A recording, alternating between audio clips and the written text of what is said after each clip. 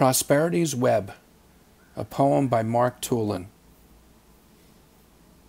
Dan was my best friend and a cool guy in the late 60s when we were naive, a succession of stickball games, cheesesteaks, and Saturday matinees.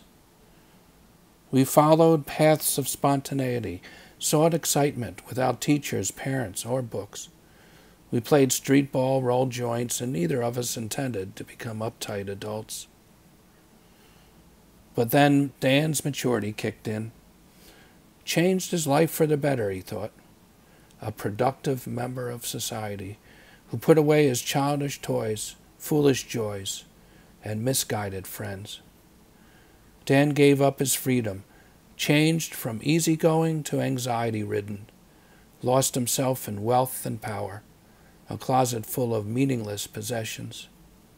He got a job, then another, developed quite an avaricious appetite, traded a house for one much larger, lost himself in the power of corruption, and drove a new silver Maserati.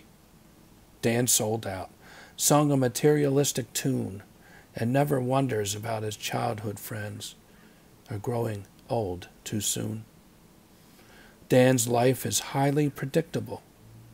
Lounges on the newly varnished deck, has a yacht tied to his dock, overfed, divorced, with two spoiled kids, stuck in a life that he didn't foresee, chained to a world of prosperity.